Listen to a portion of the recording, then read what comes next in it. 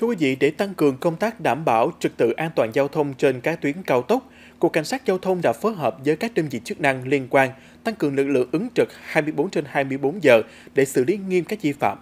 Trong đó tập trung vào các hành vi về dừng đổ, đi không đúng làn đường, chuyển làn không tín hiệu, chạy quá tốc độ, không giữ khoảng cách an toàn theo quy định.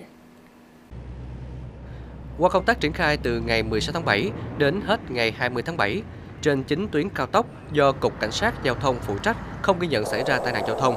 Cùng với đó có 706 trường hợp vi phạm bị xử lý, lập biên bản xử phạt 426 tài xế, phạt tiền gần 2 tỷ 500 triệu đồng, tước giấy phép lái xe hơn 331 trường hợp. Hành vi vi phạm bị xử lý nhiều nhất là chạy quá tốc độ với 206 trường hợp.